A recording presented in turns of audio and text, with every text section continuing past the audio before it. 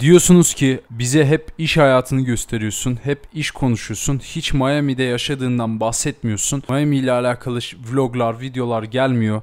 Bir günün nasıl geçiyor? Bu tarz vloglar yap bize, bunları da göster bize diye çok fazla yorum geliyor.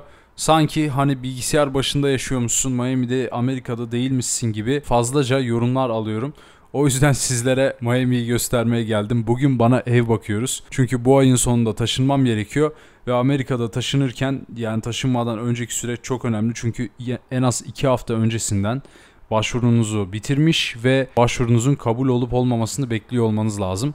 Zaten baştan e, belli oluyor o kabul olup olmayacağı. Hani insanlar oradaki çalışanlar size diyorlar ki şunlar şunlar şunlar lazım. Eğer yoksa o sende başvurma o zaman anlamında sana söylüyorlar. Sen de ona göre başvuru yapıyorsun. Yani yüksek ihtimalle kabul oluyor başvurun.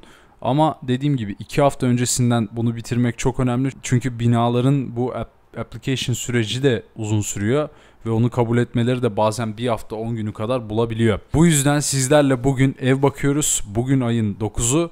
Ayın sonunda da taşınıyorum. Yani to- toplamda nereden baksanız 3 3 haftam var. Biraz acele etmem gerekiyor ve bu hafta kesin olarak cumartesiye kadar falan hangi evi tutacağımı belirlemiş olmam gerekiyor açıkçası. O yüzden sizlerle beraber şimdi evleri bakacağız ve bu evleri beğendiklerinizi siz de yorumlara yazın. Hangisini beğendiyseniz e, ben gideceğim o evleri Perşembe ve Cuma günü ve Cumartesi günü göreceğim. Ondan sonra pazartesiye de büyük ihtimalle hazır olur. Hangi evi tutacağım aklımda. Ona göre de bir eve çıkacağız artık. Bakalım yeni videolar o evden gelmeye başlayacak. Hemen geçelim. Evet şimdi gireceğimiz web sitenin ismi Zillow arkadaşlar. Bu Zillow'da e, hem satılık hem de kiralık evler var. Genelde Miami'de herkes bu web siteden bakıyor. Sitenin ismi Zillow arkadaşlar. Buraya giriyorsunuz. Yaşadığınız yeri seçiyorsunuz veya zip kodunuzu giriyorsunuz.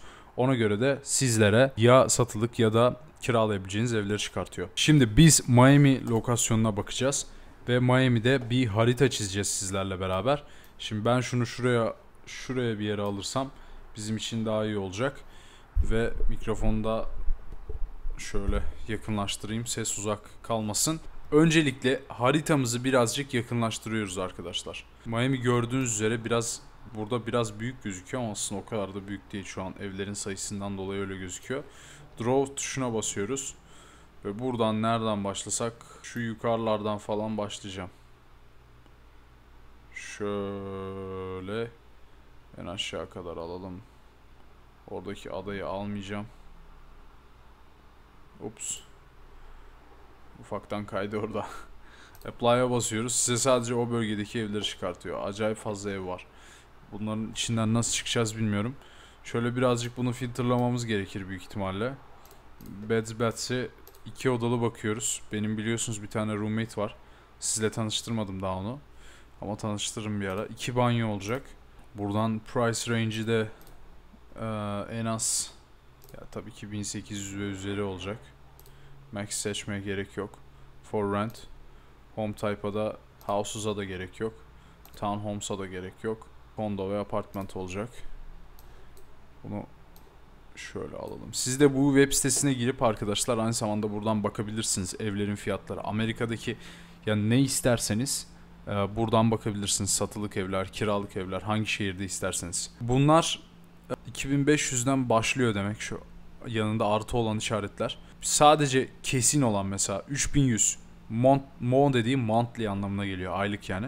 3100 bölü Mo yazıyorsa bu değişmeyen fiyat. Yani burası sadece bir daire. Bu dairede fiyatı 3100 dolar. Mesela bakalım bu daireye. Salonu bayağı büyük. Fena değil evet. Güzel duruyor salonu. Hatta değişik. Aa burada da bölmesi var. Süper. Burayı ofis olarak da kullanılabilir. Ama yerler çok çirkin yani. Hiç sevmediğim bir yer tarzı. O e, taşlar. Ben daha çok mermer seviyorum ama illa mermer olması lazım diye bir şartla koşmuyorum. Şu andaki yerlerim de güzel mesela fena değil. Ee, bu tarz bir şey de olabilir ama buradaki taş çok kötü ya. Burası gerçekten güzelmiş. Banyosunda e, bath dediğimiz şuraya bath deniyor biliyorsunuz. Ondan var güzel. İki tane lavabo var. Süper. Galiba 3 odalı burası. Bir de balkon da bayağı büyükmüş. Manzara şöyle böyle fena değil. Buranın hangi daha şey apartman olduğunu anladım. Burası Wind diye bir apartman. Site burası hatta Miami'nin tek tük sitelerinden bir tanesi. Genelde site yapmıyorlar burada. Türkiye'deki o mantık e, olmuyor yani. Türkiye'de biliyorsunuz 5 tane binanın olduğu yere genelde veya birçok villanın olduğu yere site deniyor. Ben Amerika'da ya özellikle Miami için konuşuyorum. Site mantığını hiç görmedim. Sadece böyle tek tük var yani birkaç tane yapılmış. O da çok büyük inşaat firmaları yapıyorlar onlara. Bu da onlardan bir tanesi. Şöyle gördüğünüz gibi bir tanesi Wind, bir tanesi Ivy, bir tanesi de Mint ismi. Üç tane var bunlardan. Ben bunlardan daha önce gidip gördüğüm için bir de artık 5 senedir Miami'deyim o yüzden birçok şeyi biliyorum burada. O yüzden bunu hemen görünce tanıdım yani. Ama şu bölmesini çok beğendim. Orası tarz olmuş, güzel olmuş. Böyle bir şey olabilir. Yani neden olmasın. Bir tek taşlar kötü. Bir de kirası birazcık 3100 verme taraftarı değilim. Yani şu an zaten 3200'e kadar çıkıyor kiram. Biraz kiramı düşürmek istiyorum. Çünkü bu sene çok fazla ürün, iş, bu tarz şeylere girdik. O yüzden kira biraz düşmesi gerekiyor. Düşerse benim için daha iyi olacak. Ama bakalım yani o civarda bir şey 100-200 dolar fark, fark edecek zaten. 2351'den başlıyor diyor burası. Buraya bir bakalım. Burayı ilk defa görüyorum. Burası nerede bilmiyorum. Canvas diye bir bina var. Ona çok benzettim ama galiba o değil. Burası yeni yapılmış olabilir. Mutfağından da bir de kullanılan materyallerden anlayacağınız üzere çok yeni duruyor. Evet burası ne olduğunu bilmiyorum. Ama fiyatlara bakarsak aa, şey çok küçük. Apartmanın kendisi 795. Yani ben şu an 980 square feet'te kalıyorum. Bu bile küçük geliyor. Aa, bu bunun küçüğünü düşünemiyorum yani. Ve bir de şu downtown bölgesini gerçekten sevmiyorum. Umarım orada olmaz. Yani şu an kaldığım bölge en iyi bölge aslında ama burada da istediğim fiyatlarda bulamadım istediğim tarzda bir şey. Böyle 3000'e bir şey buluyorsunuz ama şeyi çok yüksek. Ee, salonun büyüklüğüne göre fiyatı çok yüksek. Yani salon acayip küçük geliyor. 3000 dolar vereceksem hani biraz daha büyük bir şey istiyorum'a getiriyorsunuz olayı. O yüzden şu anki kaldığım bölgenin daha böyle biraz daha ucuz olduğunu düşünüyordum ama tam tersi Miami'nin en pahalı bölgesiymiş şu anda. Bakalım bakalım buralarda mesela şöyle bir şey var. 1100 S Miami Avenue diye bir yer. Burası 1010 galiba binanın ismi. Evet. Yok. 11O. Double O. Binanın ismini bilmiyorum. 11 çift 0. İlk defa görüyorum herhalde bu binayı. Spor salonu binanın içindeki.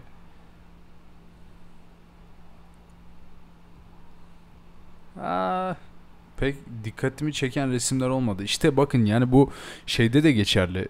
Bir yere ürün listelerken de aynı şey geçerli. Resimler iyi olmadığı zaman belki de apartman çok güzel ama dikkatini çekmiyor insanın. Yani fiyatı da çok iyi aslında. Ama hiç dikkatimi çekmedi şu an. Çünkü resimler çok kötü.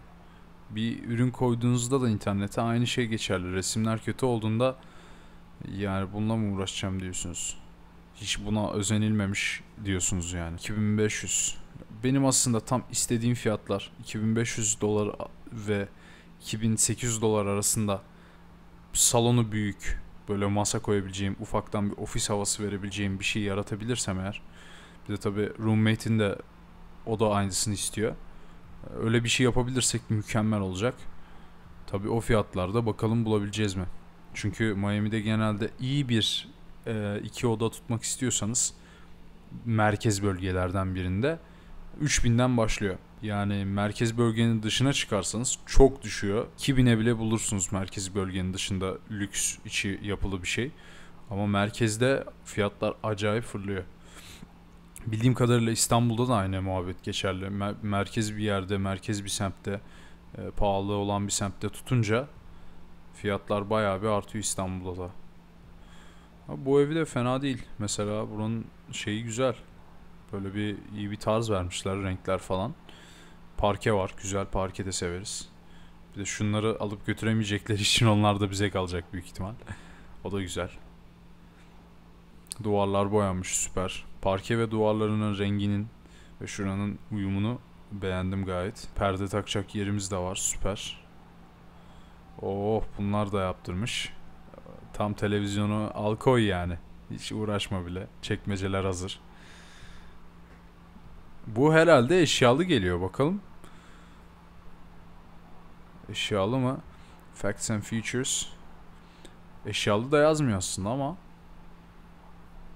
evini demek ki kiraya vermeyi düşünmüyordu. Sonradan vermeyi düşündü. Çünkü normalde kiraya verecek insan gidip bunları yaptırmakla uğraşmaz yani. Açıkçası ben kesinlikle uğraşmazdım onlarla. Hani kiracıya güzellik bildiğin. Ama burası güzelmiş. 325S Biscayne. Buranın şey de lokasyon aslında pek fena değil. Downtown'da ama tam böyle parkın yanında biliyorum burayı. Ee, Intercontinental Otel var orada. Şu Intercontinental Otel gördüğünüz üzere. Onun tam yanında. İyi duruyor yani fena değil aslında. Bunu bir şey de iyi. 1169 square feet. 33. katta. Bu da güzel. Bunu bir kaydedelim bakalım. Ben bunu kaydediyorum millet. Öbür ekrandan kaydettik. Evet devam ediyoruz. Şöyle bir corner unit manzaraları güzel bir corner unit bulduk. Manzarası güzel. Wow çok güzelmiş ya salon. Yeni olduğundan dolayı herhalde bu siyah yapıyorlar ya dış cephesine. Ee, camların o direkleri falan siyah yapıyorlar ya acayip hoşuma gidiyor gerçekten. Baksanıza ne kadar şık duruyor. Ama yani şu çok iğrenç bir materyal ya. Bu nedir ya? Hiç olmuş mu şöyle? Kullandıkları şey de güzel değil. Taşlar da güzel değil. Evet birazcık bir ucuzluk var. Seziyor insan. Ama yine de güzel yani. Yani bu binada fena değil herhalde ama binanın lokasyonu kötü bu da. Çünkü şöyle aşağı aşağı indiğinizde bu arada rentinin yani kirasının geçmişte nerelerdeymiş bu kira ve daha önce ev evin kirasına göre yüzde kaç artış olmuş. Güzel bir site yani bu bayağı bir bilgi veriyor size evler hakkında. Buradan açıp kendiniz de bakabilirsiniz. Wow 9500 dolar. İşte millet bakın aylık 9500 dolara Miami'de böyle bir şey tutabiliyorsunuz. 3 oda 3,5 banyo. 3,5 banyo dediği de 3 tane normal odaların içerisinde banyo var. O buçukuncu banyo da duşsuz banyo demek. Duşsuz yani tuvalet demek kısaca. Ve o da evin girişinde misafirler geldiğinde kullanabilsin diye bir yapılmış bir yer. Şöyle. Resimler çok kötü yine bulanık. Resolution baya düşük. Ama yine iş görür. Wow süper. Mutfak. Tabi 10 bin dolara yani daha iyisini de bulursunuz. 10 bin dolar iyi bir para gerçekten. Kira için. Evin içinde bilardo böyle bir oyun şeyi falan bile var. Onlar biraz daha göz boyama tabi. Çok masraflı şeyler değil ama burası çok iyiymiş gerçekten. Wow. Bura bayağı hoşuma gitti. Manzara süper. Şöyle bir jacuzzi tarzında bir bath. Baya güzel. Burada partiler martiler. Toplantılar. Oturup keyif yapmacalar. Kendinizi böyle bu, bu tarz evleri bu tarz evleri açıp kendinizi böyle motive edebilirsiniz. Ben genelde yapıyorum bu, bu tarz şeyler. Evet zamanı geldi şuradaki filtreleri 3000 dolara ayarlamaya. Bunu bir 3000 yapalım çünkü 30 bin değil 3000. Çünkü böyle çok fazla güzel şeyler çıkaracak. Benim dikkatim de alacak sonra. Onlara gireceğim. O yüzden bunu 3000'de tutmak şu anda en iyisi olacak. Bakalım bakalım. Şu plaza dediği rental binası. Ee, yani tek bir tane sahibi var. Tüm daireleri kiraya veriyor. Ee, şöyle bir şeye bakalım. Quantum bu binanın ismi galiba. Quantum mu? Evet galiba burası Quantum. Hmm. Fena değil. Evet 3 tane resim koymuş. Lanet olsun. Böyle listing mi olur arkadaşım ya? Saçmalık. Versin bakalım öyle kiraya verebilecek mi? Evet burada da 3 oda 2 banyo ile şöyle bir layout'umuz var. Bu tarz e, mimari resimlere bakmak da insan bence hoşuna gidiyor. Ama tabi buradaki 3 odayı iki oda bir banyoyu paylaşıyor. Ama bu iki odadan bir tanesi şey olabilir tabii ki. Ofis odası olabilir neden olmasın. Bir de den, den de var. Den de güzel bir şey tabii. Den demek burada böyle bir oda ama kapısı olmayan odaya den denir. Orada bir ufacık boşluk tarzı bir şey oluyor genelde. Şöyle biraz değiştirelim. Neredeydi acaba? Hatırladım buranın nerede olduğunu. Birkaç defa önünden geçtim buranın. Evet fena değil. 3 oda olması hoşuma gidiyor. Yani ben böyle bir şey fantezisi var bende. Bir tane odayı alalım sinema odası yapalım. Öbür iki tanesi yatak odası olsun. Ee, den de var zaten. O dende işte böyle egzantrik bir şey yapılabilir oraya da. Akvaryum falan tarzı böyle. Evi dizayn etme hevesi bayağı bir var. Bu evin kirası da bayağı iyi. Gördüğünüz gibi 2450'ye 3 oda alıyorsunuz. 1500 square feet alıyorsunuz. Çok çok iyi. Bina çok kötü bir bina olarak gözüküyor ama yine de evin kirası bayağı iyi fiyata göre. 3 oda normalde bu fiyatlara bulamazsınız. O yüzden böyle bir şey bile olabilir. Bunu da kaydettik. Bakalım bakalım. 2800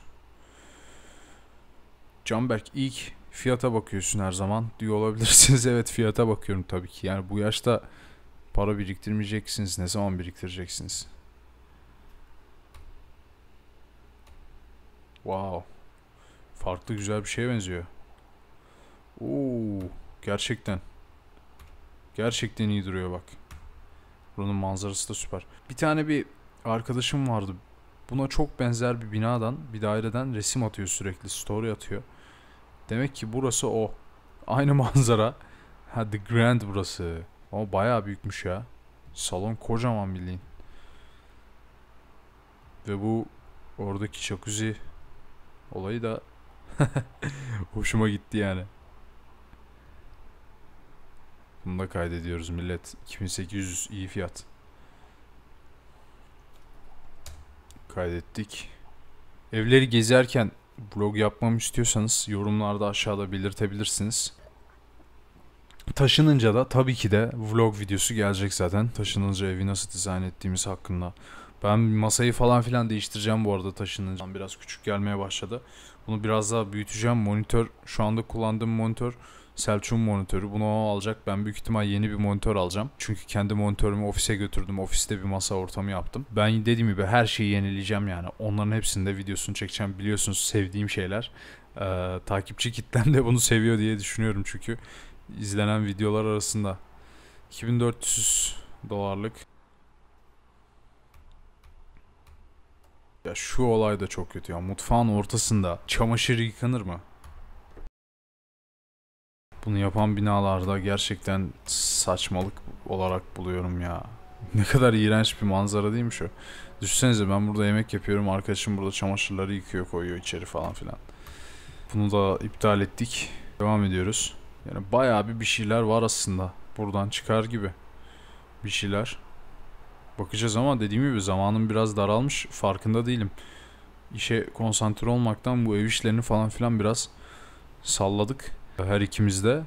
Ama pazartesiye kadar, önümüzdeki hafta pazartesiye kadar bunun belli olup hangi eve taşınacağımız bizim gitmemiz lazım yavaş yavaş. Başvuru yapmaya yani. Bu da çok güzel duruyor ya. Wow. Çok güzel. Burası süper duruyor gerçekten. Balkonun büyüklüğüne bakar mısınız? Hasta oldum şu an. Ama şu nedir ya? Bu ne kadar iğrenç duruyor burada. Beton. Ortadaki şey güzel ama. kolon. Güzel kolon. Balkonu süper. Kocaman bir balkon. Adeta bu neydi? Burası lobi oluyor galiba. Aynen lobi burası. Evin içi de kocaman ve duvarlarda böyle bir ufaktan şirin duruyor yani bence. Sizce? Ve manzarası da fena değil. Downtown'a bakıyor burası. Edgewater dediğimiz bölge. Burayı da kaydedelim yani millet. 3 oda alıyorsunuz, 2 banyo alıyorsunuz, 1318 square feet alıyorsunuz, 2800 dolar ödüyorsunuz. Güzel deal. Gerçekten deal iyi deal. Bir de 91 gündür bu listedeymiş yani. Kimse tutmamış 91 gündür. Ben bu adama gider derim ki dostum benim sana teklifim 2600 dolar. Kabul ediyor musun? Etmiyor musun? Etmezsen Bir 90 gün daha beklersin. Bunları bir leverage olarak kullanmak her zaman önemli tabii ki. İşe yarıyor. Çünkü adam yani 90 gündür tutamamış. Sonuçta evi tutturamamış. Aslında bu bina çok şirin bir bina ama çok böyle kızlara göre bir bina. Yani böyle kız kardeşim burada yaşasa tam böyle onun yaşamasını isteyeceğim tarzda bir bina. Gittim daha önce baktım buraya. 2-3 sene önce ev tutarken. Çok tatlı, çok şirin bir bina. Tam böyle bir prenses bir küçük kızın böyle oturacağı tarzda bir bina. My Brickle mıydı neydi ismi öyle bir şey. Havuzuna baksanıza rooftop havuzu var böyle şey bir havuz. Yerlerin şirinliği falan. Charlie'nin çikolata fabrikasında gibi hissediyorsunuz kendinizi. 2300. Burayı da daha önce görmüştüm de çok küçük ya. 700 square feet gerçekten minnacık bir alan. Yani bunda yaşamak zor. Centro bu binanın ismi galiba. Benim bir arkadaş oturuyor burada şu anda. Kendisi Türk. Sevdiğim bir arkadaş. 2700'e 1337. Yani dostlar anladınız mı? Benim için en önemli şey aslında büyüklük. Manzaradan da önemli. Binanın içerisindeki lükslükten de önemli. Binanın kendisinin lüks olmasından da önemli. Büyüklük çok önemli çünkü içeriye ofis yapacağım. Ve o yaptığım ofiste e, motive eden içeride sıkış tıkış olmayacak tarzda bir ofis olmasını istediğimden dolayı en önemli şey benim için büyüklük. Ondan sonraki en en, en önemli şey de lokasyon. Aşağı indiğimde yapacak bir şeyler olması gerekiyor. Yani yürüyüş yapabilmem gerekiyor. İyi böyle güzel bir ortamda hani çok fazla evsizlerin dolaşmadığı, çok fazla böyle arabaların geçmediği, daha böyle insanların olduğu bir ortamda yürüyüş yapabilmem gerekiyor. İkinci en önemli de bu. Geri, ondan sonrası eşit düzeyde önemli. Evin içi lüksmüş, şeymiş, binanın kendisi lüksmüş şu anda bunları önemsemiyorum. Yani normalde önemseyen bir insanım aslında. Ee, ama bu yıl önemsemeyeceğim çünkü hedefim biraz rahatsız olmak istiyorum yani. O kadar lüksün içerisinde olunca şey oluyorsunuz. Konfor alanınıza giriyorsunuz ve hani böyle bir kendinizi ödüllendirmiş oluyorsunuz kendinizi o lükse sokunca. Bu da bu da tembelliğe yol açabiliyor. O yüzden o lüksün içerisine girmemekte fayda var.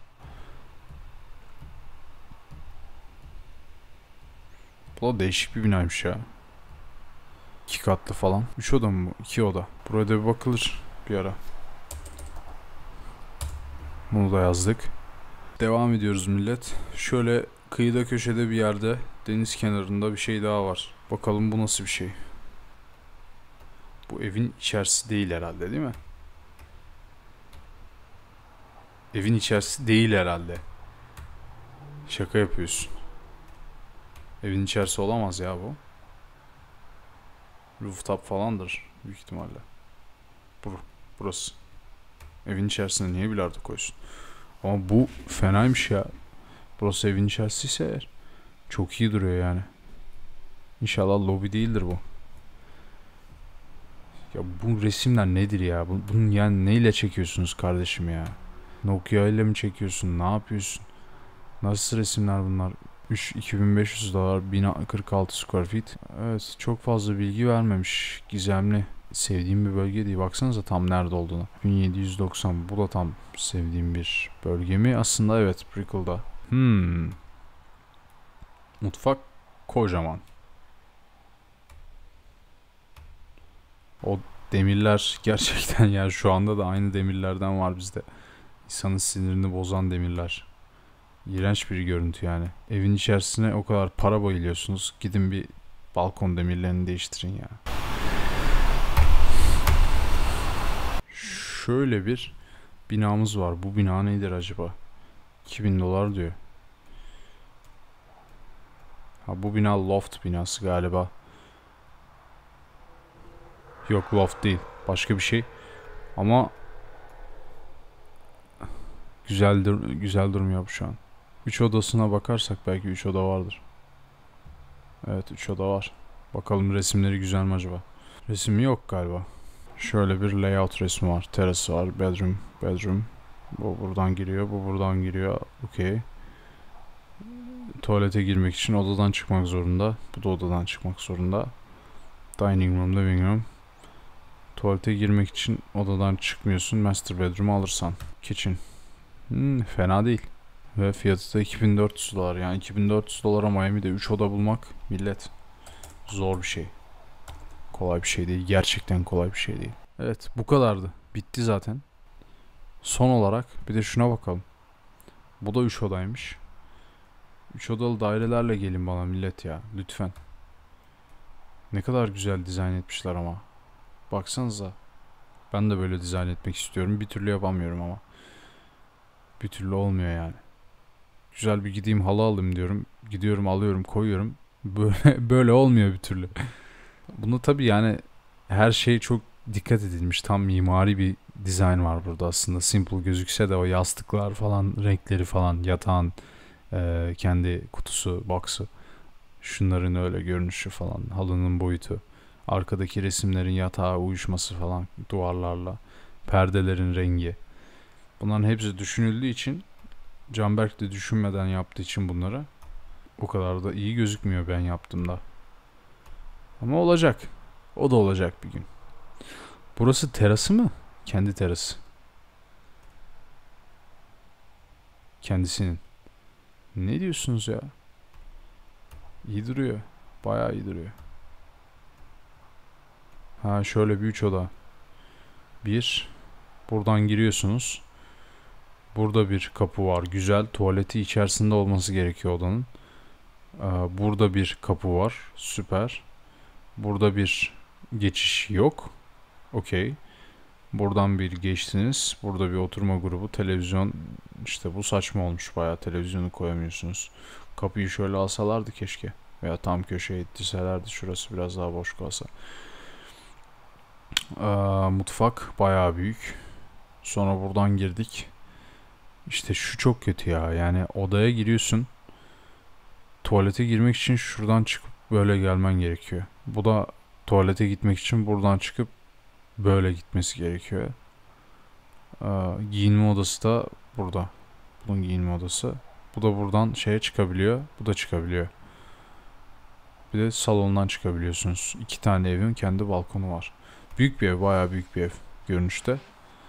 Fena da değil yani aslında baktığınızda. Tabi şey olayı kötü.